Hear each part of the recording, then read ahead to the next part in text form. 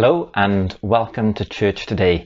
My name is David and I'm a pastor here at Park Central Church in Aberdare and I just wanted to say thank you for joining with me today. You know, whether you're part of our church family or you're just here having a little look to see, you know, what, what we're about and what we're doing, um, or maybe you're searching for a church to join once, once lockdown is over, or you might have just stumbled on this video by accident and you're just giving it a few minutes to see if it's worth watching anymore. I just want to say welcome. Say it doesn't really matter how you ended up listening to my words um, with my funny accent today or watching along with me um, and some other random people, other strangers, and potentially around the world um, watching this church service that's been shown on Facebook and YouTube.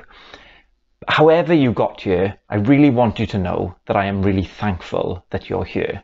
You know, I'm so incredibly grateful that, that people are still watching these videos and engaging with church in this new format. You know, there's a thing called Zoom fatigue or Teams tiredness. Um, and I get that some people are a bit over, you know, church online now, and they're longing for the days of meeting physically together in a building. But I am also so thankful for this technology, you know, that this this opportunity that we have and that we can utilize. It's just enabled us to have some means of connecting with people as a church. But more than that, people have been able to respond and reach out and connect with us in this slightly different way that might not have been possible if we were doing traditional church inside four walls. You know, it's easy to get drawn into looking at the numbers um, of, of sort of online church and, and and the statistics around it. How many people have watched? How many? Um, how long have people spent watching this video and, and delving into the analytics of it all? But in all honesty, I do not care about those types of numbers. You know, there's only one thing I care about, and I genuinely pray about this before every single video is uploaded.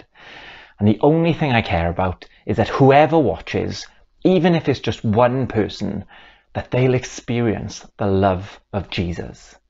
That they will know Jesus a little bit better, that Jesus will reveal himself through the screen to whoever is watching this in a fresh way to somebody who knows Jesus or in a completely brand new way to somebody who's never experienced the love of Jesus before.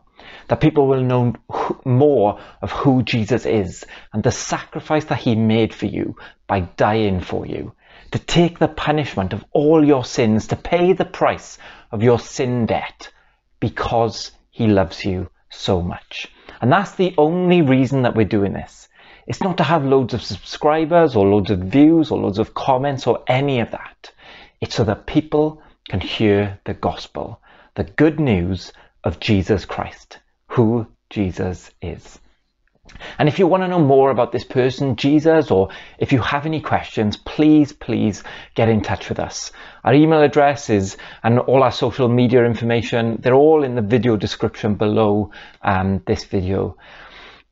And if you want to accept Jesus as your personal Lord and Savior, that you admit that you're broken, that you're sinful, that you're unable to pay the price for your sins yourself, and, and accept that Jesus on the cross that we celebrate over Easter, that he, on the cross, he paid the price with his blood through his death, and he defeated Satan by rising and resurrecting on the third day, then we would absolutely love to hear from you.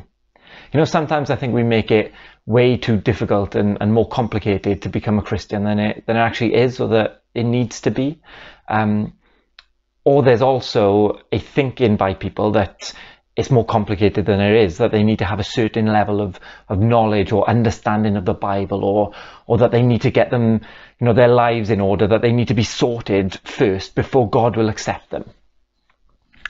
You know, all in its simplest and purest form, all God requires from us is faith. Faith in Jesus, a belief that he is who he says he is.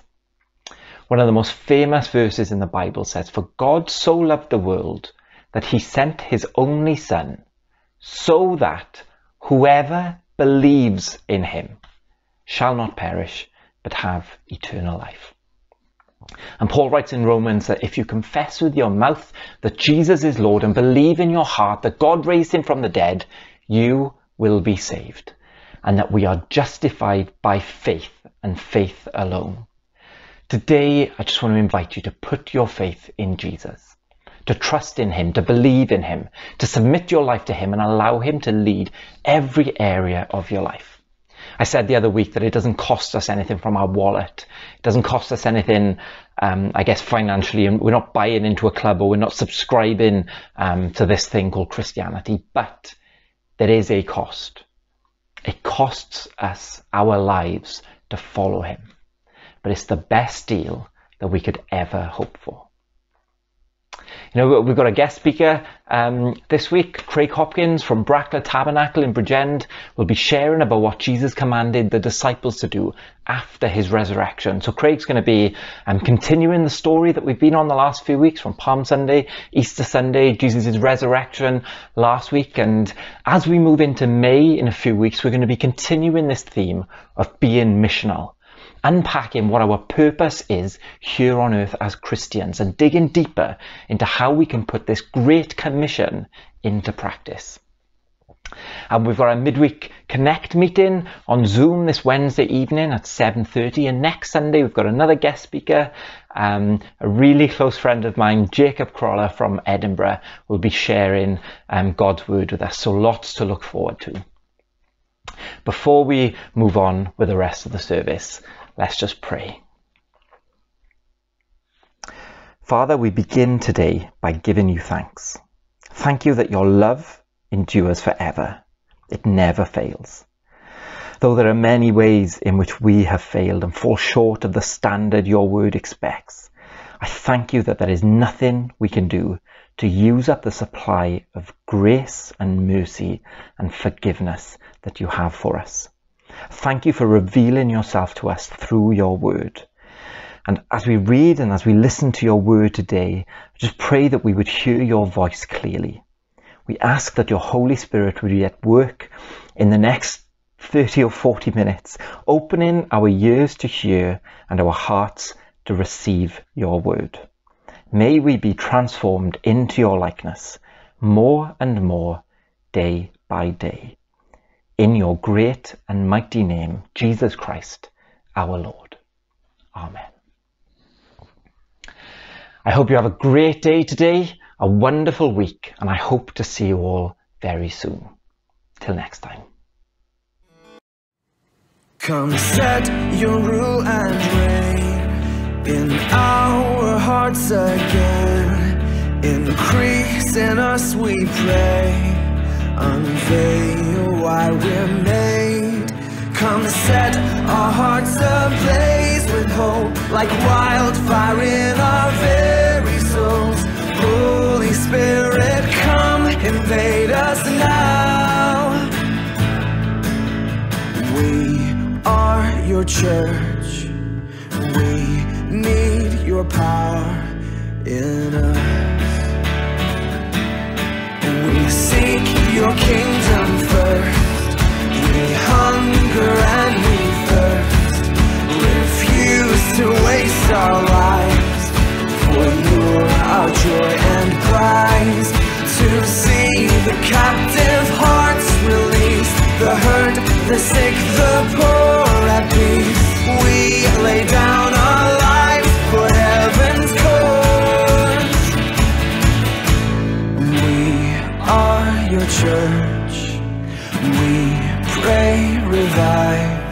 this earth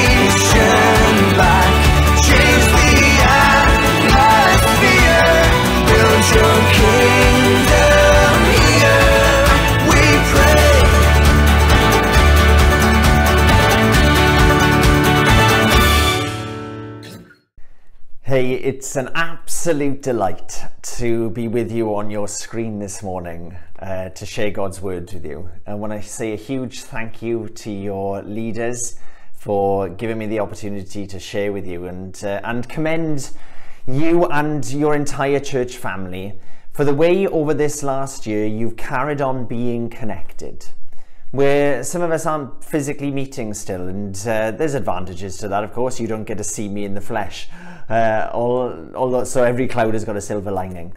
Um, but we're going to get there eventually, and we're going to get there soon. But but but it's been a strange season. But I commend you, all of you, for the way you've connected intentionally and carried on. For any of you who have prayed for your church, God bless you. For any of you who have given to the work of God outside of the normality in this season and carried on giving financially, the Lord bless your obedience. For those of you who have served and loved each other in various ways, the way you've honored leaders, the way you've worked hard, the Lord bless you. We're going to come out of this season in a very different way to the way we walked into it. And so I want to touch base this morning on some of the priorities that Jesus has for us.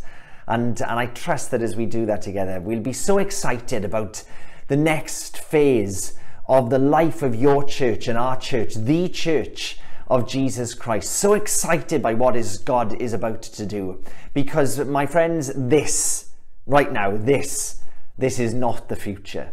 Praise God there is uh, there's more and a difference for us but there's we've been made for something and that, that's what i want to talk about this morning for the brief time that i have i'd love to draw your attention to matthew chapter 28 and uh, let me read these verses to you starting in verse 16 matthew 28 verse 16 says then the 11 disciples went to galilee to the mountain where jesus had told them to go when they saw him they worshipped him but some doubted then Jesus came to them and said, All authority in heaven and on earth has been given to me.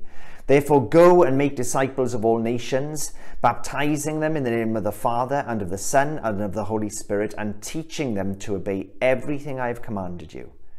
And surely I'm with you always, to the very end of the age. That, that's one of the most familiar passages that, uh, that we, we, as Christians, we know the great commission of Jesus for us who followed after him to go and proclaim and make. And we're going to gather onto that. But the first part of that, that passage is so important. Verse 16 tells us that the disciples went to Galilee. I love the fact that that's in scripture. Galilee is 70 miles away from Jerusalem the crucified, risen Jesus who had appeared to his disciples countless times post resurrection tells his followers to meet him in Galilee. Ever thought about that? The fact that Jesus wants to meet us in certain places, I find that intriguing. You'd think that, like, well, he's present with them in Jerusalem, they're all together, and Jesus tells them, I'll meet you in Galilee, 70 miles away.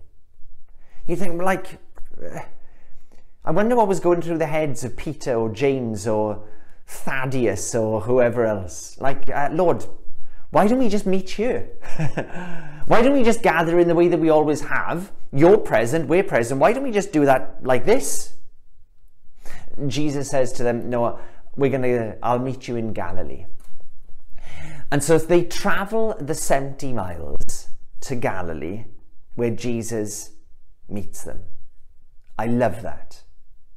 Just before, um, just before lockdown last year, our church family here had a sense of God's plan for us to go and be physically present in different locations throughout our county borough.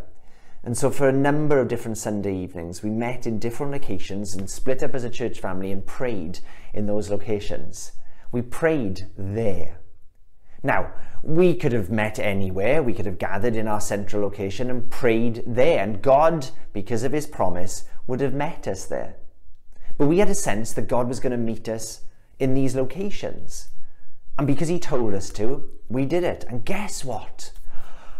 We met him there. we prayed and we scattered and we went and we talked to people and we shared Jesus in various locations. And one story was in the grand village of Pontycymer in the Garw Valley near us in Bridgend. We had had a sense that evening that we were to go and look for a person of peace from uh, from from the Gospels, where where we're told to like go and uh, from Luke ten, I think it is, to find a person of peace. And so we prayed and we left where we were meeting and we went and prayed and talked to some people about Jesus some of our party went to a certain area within this village, and as they parked their car, they got out of the car, and there, uh, just out, just the garden right next to the car was this beautiful peace lily. Now, the person who got out of the car looked at that peace lily and just put two and two together. Look for a person of peace, peace lily. And so I had the courage and went and knocked on that person's door. Person opened their door and said, Hi, and was able to this our one of our family our church family was able to share look we're just in the area and we're praying and we've saw this beautiful peace lily and uh, we, we, we just want to pray god's blessing on you this person the house owner invited them inside remember the days when we could do that uh, invited them inside uh, incidentally it seemed that she the house owner was a, a follower of jesus but her husband wasn't our church members shared why they were there, and together in their front room, they offered to pray. The non believing husband reached out his hand and grabbed hold of one of them and said, Please, would you pray? And there and there in their living room, they prayed, having all these connections about peace lilies. They prayed God's blessing and shared the gospel and walked out. After my friend said, This is a beautiful garden. Like, how do you, do you look after it? She said, No, no, no, I have a gardener come. And she told her the gardener's name. The gardener was the niece of the church member who had gone there in the first place. All of those strange little connections. The Lord tells us, when He tells us to do something, we do it because we can meet Him there. In this season, we haven't been able to gather in the way that we once did. And I'm pretty sure that when we are able to gather again, it will not be what it once was. And some people can cry about that, and some people can bemoan those realities.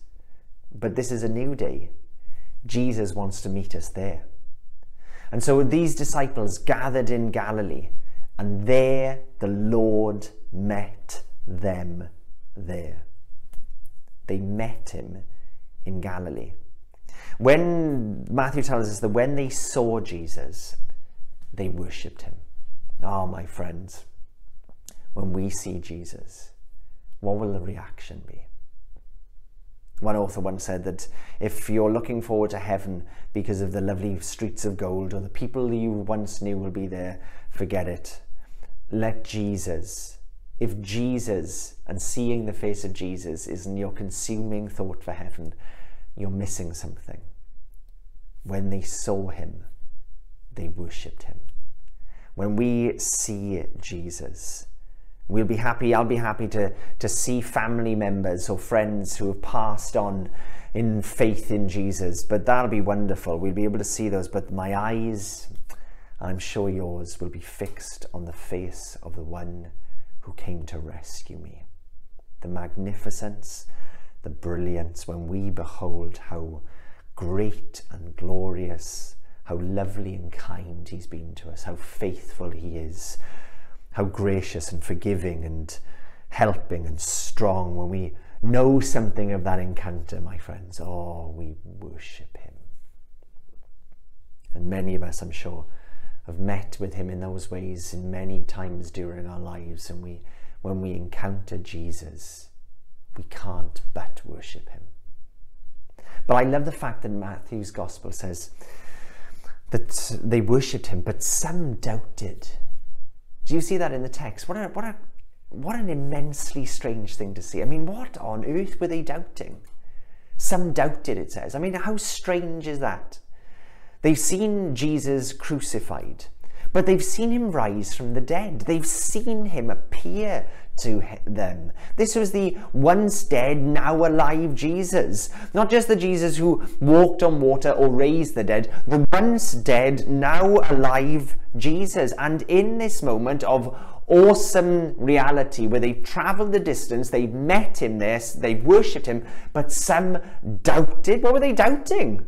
Their Jesus, the resurrection themselves, what were they doubting? Their response to him? Some commentators talk about this word doubt as, as meaning hesitancy. And so they worshipped, but they were hesitant. There was something, uh, there was something about him. And I don't know about you, but it, it, it, that sort of sums up my life. There's sometimes Jesus is compelling and brilliant, and I love him. And then there are times when I'm hesitant towards him and to what he wants and to his goal or ambition or his change in my life. I, I start becoming hesitant towards things. I don't want to, I can't understand some of the things. I'm not there. And, and so I feel too exposed, too vulnerable. One of my favorite prayers in all of the New Testament is the prayer of the Roman centurion who prayed, Lord, I believe. Help me in my unbelief. Many of us are journeying with Jesus, and I, it's likely that many of us do not doubt the tenets of our faith the triune God, the virgin birth, the sinless life or atoning death. We don't doubt the efficacy of his word and the power of his church or the gifts of his spirit. We believe in these things. We don't doubt those things, maybe. But is Christ present in my cancer or my grief? Is he with me in my bullying can He help me in the mess that I'm in, in my depression, in my marriage, in my singleness? Is Jesus there in these things? Oh, I believe. But Lord, help me in my unbelief. Some doubt it. I don't give these guys a hard time. They're us, aren't they? Matthew tells us, then Jesus came to them. In the midst of worship and hesitancy, Jesus comes. He's marvelous, isn't he? He's not put off by our doubts or overawed by our worship. He comes close to the people who've come to look for him. He comes near when faith is present when faith filled obedience is present in human hearts, Jesus turns up. I told you to come to Galilee. You've come. You did it by faith. You obeyed. And so I'm coming for you. and he loves it. Not the exclamation, not the hesitant doubts. No, Jesus loves faith. He'll meet us there. And so wherever we are in the journey as a church community, as a as a as a as a as an entity of family, may it be that however we journey in and through and out of this season, it'll be because of faith, not because of sight. Don't, don't, don't look for the things that we can see. Look for where there's faith. Faith is what draws Jesus, not activity. Faith. And so I challenge us to where is the faith bits in our real walk with a real Jesus? And when he comes, Jesus gathers with them. And when he comes, he speaks. Whenever Jesus is present, his word is present. And he speaks some magnificent things, doesn't he? I mean, like, all authority, says Matthew, uh, quotes Matthew, all authority in heaven and earth is mine. this isn't some coy moment, is it? This isn't like Jesus being all falsely humble. No, Jesus knows who he is. He's the most uh, self assured person in existence. He knows who he is. He knows what he has won. He knows his reward.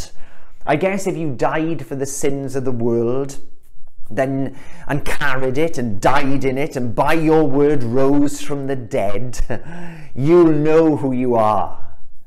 Jesus is Lord. And in his lordship declares to his friends, My lads, I'm in charge of everything. My favorite psalm, Psalm 24, says, The earth is the Lord's and everything in it. Jesus is declaring himself, making sure they are aware that he is the boss of everything, everything, everything, all authority. Does that mean then that we always see his rule outworked? No, not yet. It's like, you know, if you're in your office, again, remember those days when you're actually in an office and someone steals, you know that you know that your boss, well, she's in charge, she has the authority, but someone can steal a paperclip and uh, leave the office with a paperclip in their pocket or pen in their pocket or whatever. Uh, they can easily get away with those things. Her, the boss, her authority is present, but it's not absolute. Jesus, however, is declaring something. He is saying that there is an absolute truth that will one day become an absolute reality. All authority is His. And there is a now and a not yetness about that. Jesus is declaring something that all authority is His. The earth is the Lord's. It doesn't belong to Joe Biden or uh, Boris Johnson. It doesn't belong to the G7 or the G20 or the UN. It doesn't belong to big business or big tech. It doesn't belong to corporate entities or, or nations. The earth is the Lord's and everything in it. It isn't sicknesses or cancers or COVIDs. It isn't isolation or concern or fear. It isn't all the weirdness of separation. No, the earth is the Lord's. You wait. There are times when we just need to know that, I think, doesn't it? All authority is Christ's. All authority lies in the hands of a good, marvelous Jesus. So, he says, because of that, go. Go and make disciples, followers of Jesus in all nations, baptizing them in the name of the Father and the Son and the Holy Spirit, this triune God, teaching them to obey everything I've commanded you, it says Jesus. Go, go, go, go. And here we have it, my friends, the reason for it all. Ever thought about this? The reason for the death and the resurrection. The reason for the restoration of us. The reason of it all. The restoration of something. That you and I, as disciples of Jesus, we are made for mission. We are made for it. We live and move and have our being in Him, for Him. Our hearts are made for this. I love it that um, that Jesus didn't come just to save us, and I say that carefully, of course. It's tremendous, but He's not just interested in your sin. He's interested in you. You are worth dying for. You are worth coming for. He has a plan and a purpose for your life and my life, you. And in that plan and purpose, He's restoring something of, his, of, of your humanity, your identity, your, your place in God in order to compel you and propel you into the mission that He has for you and for me. We are made for this to give us a hope and a future. And it isn't about just about forgiving, although it is. Jesus comes to fill our lives, to fill it all with meaning and purpose and significance in the world and more. Not just a little bit for a little moment on a, on a day of the week. All of it. For all of it. He's in it for the long haul, for the long and deep relationship with you and with me. Because I have authority, Jesus says, go and make disciples. Go and make disciples. That the plan and the business of God isn't, isn't for the church of Jesus Christ to gather in a physical location. It is for them to be compelled to mission to a lost world. It is them to go and seek and save the lost just as Jesus did for us. Jesus rises from the dead to tell us, go and show the world how brilliant I am. You do it. Go and go and show them what living as followers of Jesus looks like. What, it, what his teachings, when we yield to them, do to our lives. They set us free. Go and do that. Go and show and tell and speak. Because think, think what Jesus at the very center of a human life looks like. Isn't it so much better for people? Think of your family members, your friends, if you're a follower of Jesus, think about them right now. Wouldn't it, your work colleagues, wouldn't it be so much better for them if Jesus was at the center of their lives? Of course it would. And who will tell them about the reality of Jesus being present at the center of their lives? Is it possible that the Lord of all glory is determined to put you right in their path? I think it is. We were made for mission. Just think of what Christ being at the center of that arrogant, obnoxious person in your office could look like or what Jesus at the center of someone who's, who's, who's depressed or concerned or just burdened. Imagine Jesus at the center of their life. Imagine Jesus at the center of that, of that mum at the school gate, or, or that postman who delivers the mail, or that neighbor next door. Imagine what Jesus at the center of their lives looks like. You have a part to play in potentially bringing that to birth. We were made for it. Imagine what Christ being at the center of a family looks like, of a community, of a world. Jesus at the center in a very real, living relationship. So, my friends, go and do that. You go and do that. Don't look to a church leader or some qualified person. No, Jesus said, all authority is mine. So go and make disciples. And disciples are simply making disciples is simply the process of sharing to someone else what you already know. You don't need to have a college degree for it. What you already know about Jesus, share it with someone else. Share it with someone else. Make those sort of people, this church, your church family, become a place, a community, a family that is made for mission. You were made for it in the community that you find yourself in. How do we do this? Dave Smith, the pastor of Kingsgate Church in Peterborough, great church, talks about three ways that we can do this, three hows. Number one, works. Go and do good works. Go on. I think many of us have known that and our communities have seen it over this last 12 months. The, the simple acts of brilliant kindness that make the world a better place. Now, a, a, random act of kindness can soon turn into frustration, and uh, someone who gives something, does something nice, can easily be the person that cuts someone up on the motorway and then beeps and honks and does all of those things. But Christians, followers of Jesus, we should be known for just being brilliant at works, of kindness, of doing things for someone else. Just because we love the world, because we receive the love of God that compels us to the world. And so paint your neighbours, friends. Bake them a cake. Go on. Let someone go in front of you for a change in the car. Leave a gift. Write a card send a text, do something, whatever it is, do good works. Do good works. Do good works. Peter says that Jesus of Nazareth went about doing good. No less for the followers of Jesus.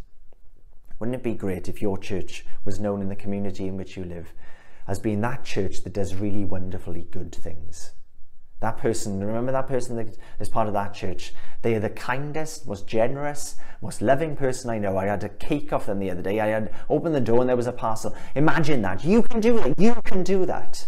You can choose to, to be intentional about good works. Do it. That's not going to get you to heaven. Of course it doesn't. Only Jesus does. But because of the love and grace of Jesus in your life, you can do good works. Wouldn't it be great if your church family was known for that.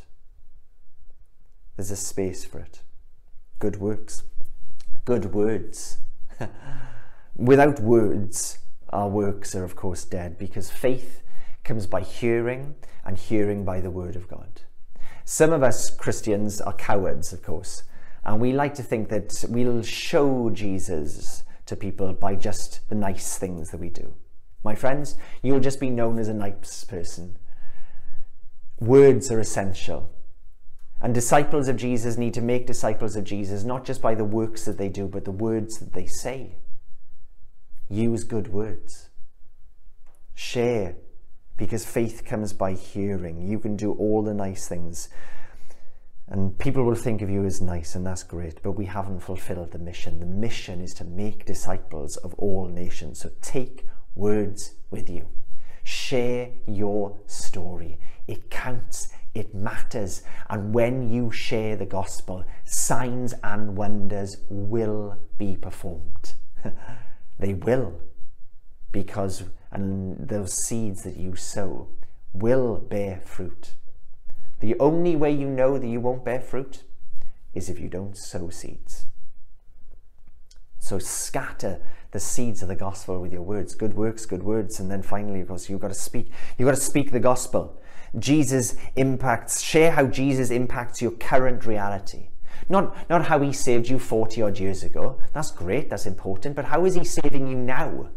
How is he doing that now in 2021, right now? What is Jesus like for you right now? Take, take words with you to people. They, people are longing to hear authentic, real words from authentic, real people. Don't wait until you've qualified. Do it now. Share what you know that a rescuer has come, that Jesus has come. Pass it on. How, he'll, how he's wowed us and thrilled us and transformed us.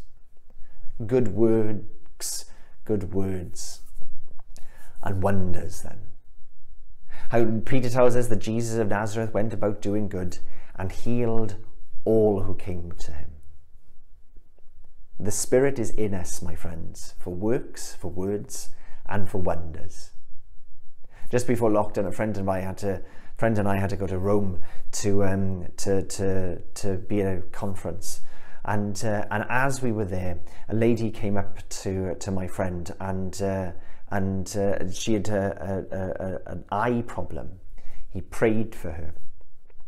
Um, rather, yeah, rather he said that there was someone here with an eye problem and that he was going to pray.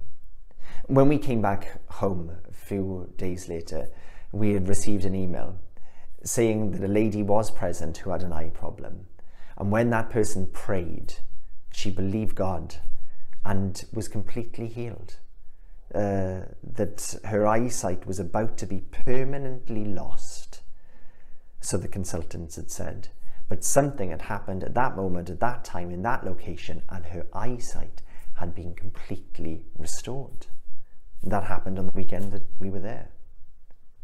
The wonders of Jesus is present.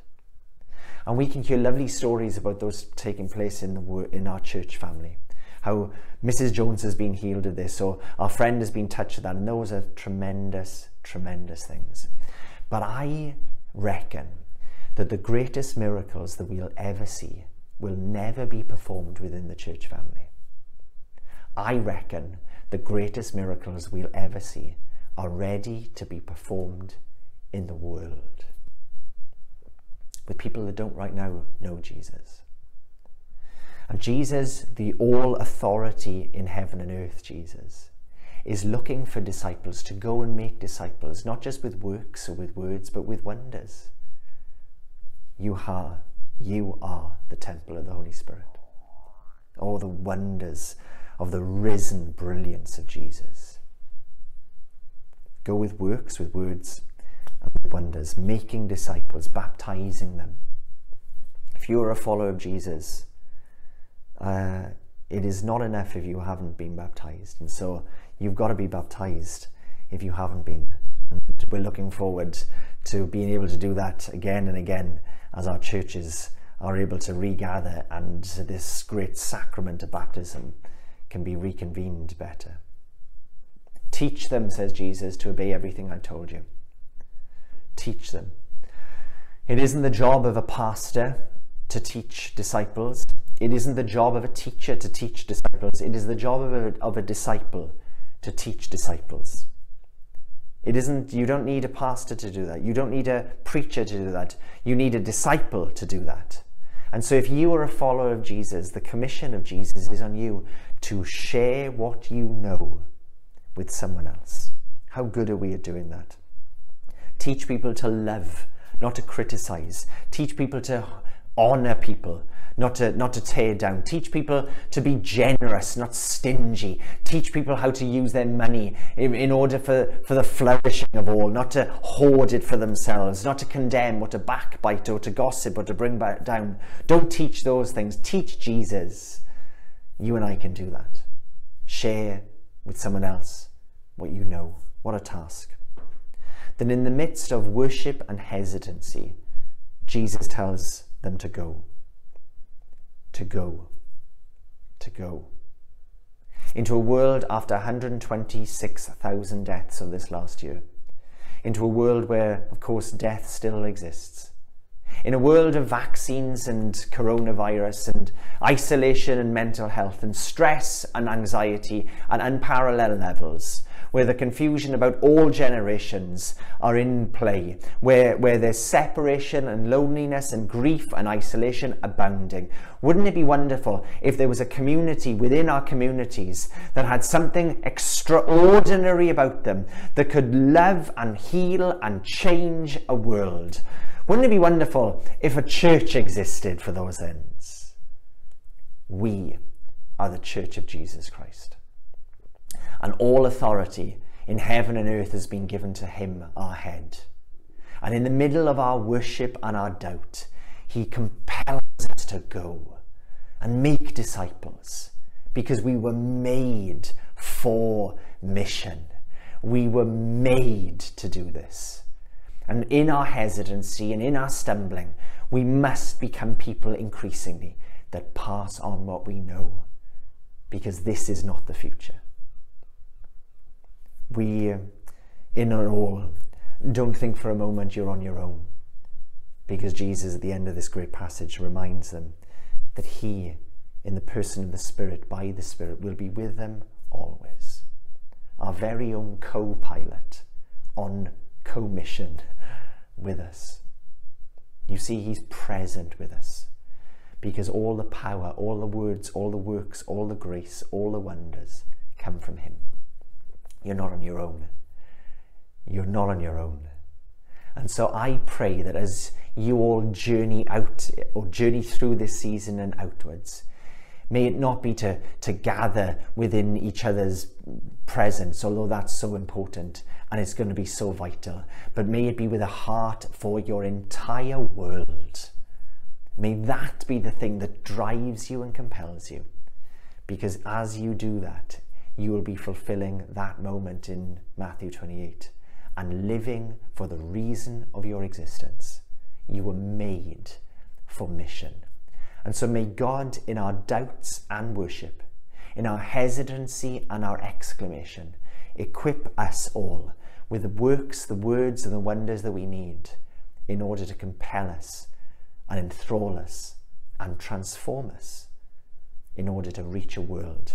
Oh, that needs Jesus. May God bless you to that end. Amen.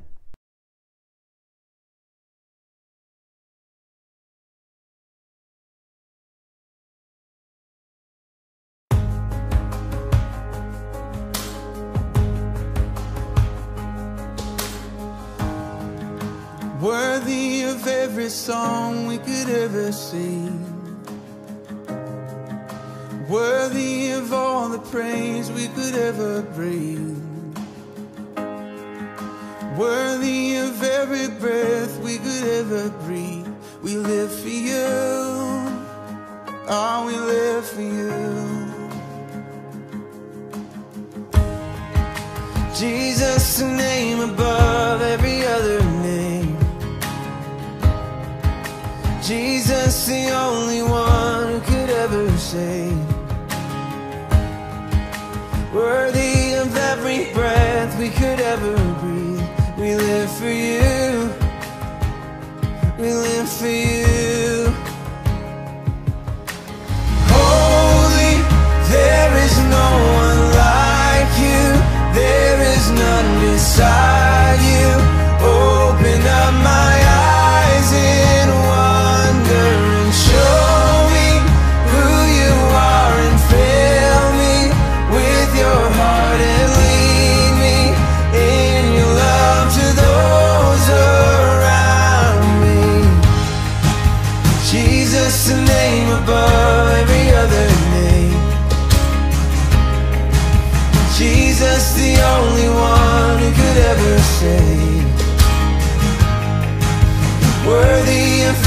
breath we could